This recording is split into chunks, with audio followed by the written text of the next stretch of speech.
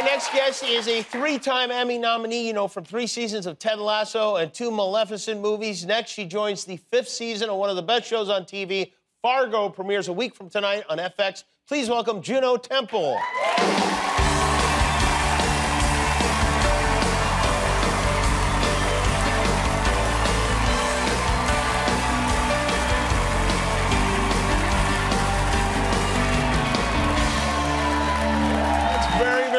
To have you here, and congratulations on your uh, Emmy nomination. three seasons, three Emmy nominations.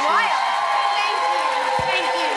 Thank you. You come from like a like the Russells, a filmmaking family, correct? I do, yeah. A filmmaking, brilliant, wonderful, magical, mad family. I was reading about your dad directed some like the great, what, the Sex Pistols, The Clash, uh, Tom Petty. yeah. Uh, in, in music videos, music films. Yeah, I've always said his, he's like a musician, but his instrument's a camera. Yeah. And uh, yeah, I grew up and, and um, Joe Strummer from The Clash was one of my, my dad's greatest, greatest friends. And I remember at about 14, turning around to my parents being like, there's a lot of people in our local town, Taunton, Somerset, uh, in Clash t-shirts. Was Joe's band like a big deal? Really? Wow. Yeah. So Joe Strummer would come over the house. yeah, he lived, he lived down the road from us growing up. That is just crazy. And would you be on set for any of these these videos and these movies? Um, yes, somewhat, but in a way that I don't really remember. There, there are some pictures uh, uh, that are good memories from me looking quite cross at being on a set because I probably would have liked to have been playing, you know, with Barbies and fairies at home. Yes, you did not want to be. Yeah, it was Waiting take your daughter Gotta work day begrudgingly. Yeah. and then you lived in L.A. too, right? You uh, moved here at what age? I was so my parents were living out here, and then I was born actually in the UK, but then came back here um, until I was about five, and um, uh, I actually grew up in. This is an interesting place to grow up. Uh, my parents bought a house without realizing until Halloween came around, and there was a tour bus that it was the original Michael Myers house from the Halloween movie. oh yeah, Did you have any idea what that meant?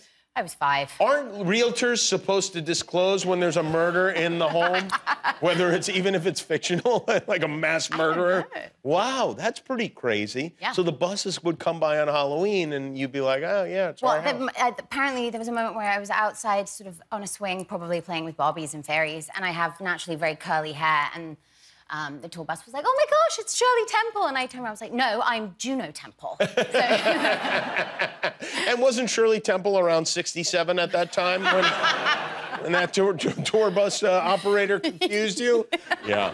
Yeah, I watched the first episode of Fargo, is- which is one of my favorite shows, and it was just fantastic. And you are great in it. You play this very, I mean, I'm, I can't wait to see what the, the secret is. Mm-hmm. I suspect it has something to do with Jon Hamm, mm-hmm. who we saw briefly. Mm-hmm. You probably can't say. No, I No, you can't, but I know that I'm right. um, you shot it up in Calgary, right? yeah, yeah. Yeah, yeah. Was it? Oh, yes. You kind of have like a, almost like a uh, MacGyver-esque quality, your character, where you um, you're attacked and you look around and you find a bottle of hairspray and a lighter and you blast this guy in the face with fire. I do. Have you ever set someone on fire? You know, it's a question most people um, could answer immediately. but I've done a lot of weird things. I'm going to say no, I have not set a person on fire. You'll Um, remember it, I think, if you do.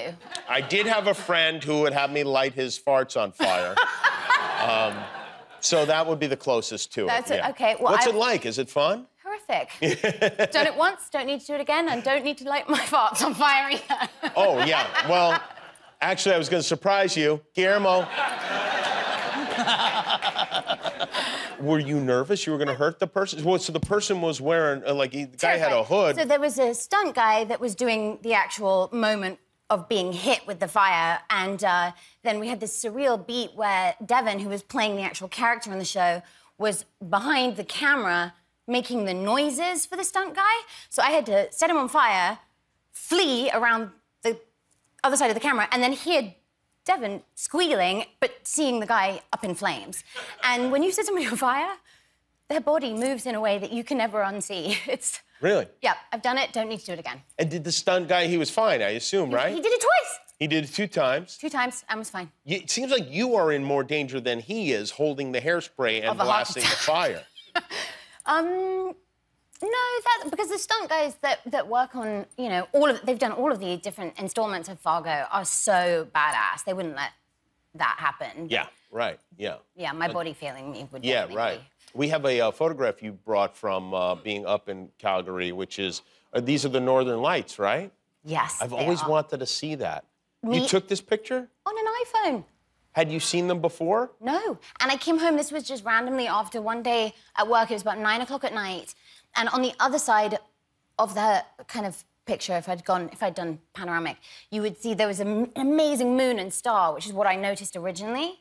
And then the driver was like, Juno, look up. And I was like, holy sh- Nikes. Right, and, yeah. um, and then managed to take a picture of that, went to the backyard to try and take another picture, and they'd already disappeared. And then the driver told me, I don't know if anybody knows this, but actually they make sounds. If you get close enough to the North Pole to be that, like that close to them, they make the sound of wind chimes. Really? Mm-hmm.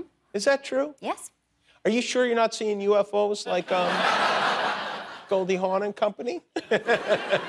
you missed that, I guess. Yeah. No, no, no. I Wow. was thinking, I, you know, Well, I can't wait to see what happens on uh, on Fargo. Uh, the first episode uh, is a week from tonight. Season five starts uh, Tuesday night, 10 o'clock on FX. Juno Temple, everybody. Thank you for being here. We'll be back with David.